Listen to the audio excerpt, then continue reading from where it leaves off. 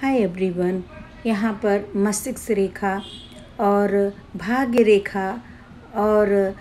एक बुद्ध रेखा के द्वारा यहाँ ट्रायंगल बन रहा है गाइज़ जैसे आप चित्र में देख सकते हैं कि हथेली में कैसे ट्रायंगल बना है भाग्य रेखा और मस्तिष्क रेखा और स्वास्थ्य रेखा के द्वारा। अगर ऐसा ट्रायंगल आपके हथेली में है या आपके हाथ में है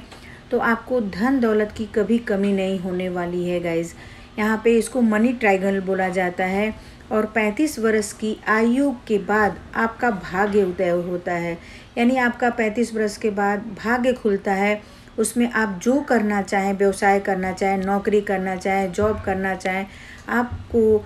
बराबर लाभ मिलेगा आपके व्यवसाय के द्वारा, आपके कार्यों के द्वारा। यानी कहने का तात्पर्य ये है कि अगर मनी ट्रायंगल आपके हथेली में है या किसी भी जातक के हथेली में ऐसा ट्रायंगल बना हुआ है तो आजीवन आपको पैसे की कभी कमी नहीं होने वाली है। आप हमेशा समृद्ध रहेंगे, सुखी रहेंगे और पैसे के वाइज आप बहुत बहुत ज़्यादा